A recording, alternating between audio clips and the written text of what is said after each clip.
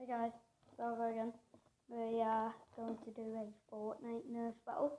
So I've got the Silence, do you know the Suppress pistol in Fortnite and he's got the Tactical, the machine gun. We're gonna go and sneak off on him.